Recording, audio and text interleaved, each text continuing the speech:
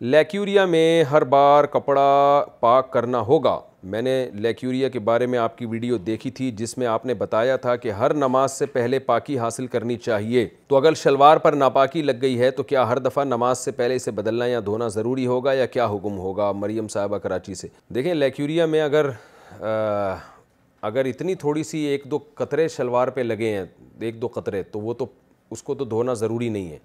कम से कम एक दिरहम के बकदर, यानी हथेली की जो गहराई है ना, इसके बकदर अगर निजात फैल गई है तो फिर उसको धोना लाजिम है। तो अंदाज़े से शलवार को या कोई भी, जो भी चीज़ पहनी हुई है, उसको अंदाज़े से आप गालिब गुमान लगाएँ कि यार कहाँ गंदगी लगी होगी तो वो पल्लू पकड़ के नलके के नीचे इतना धो के रगड़ दिया जाए। तो बस फिर वहम ना किया जाए। यानी ये ज़रूरी नहीं है, अगर जैसे शलवार पे निजात लगी, जब आपने धोने के लिए गए, उसको वॉशरूम में तो पता नहीं चल रहा कहाँ लगी है।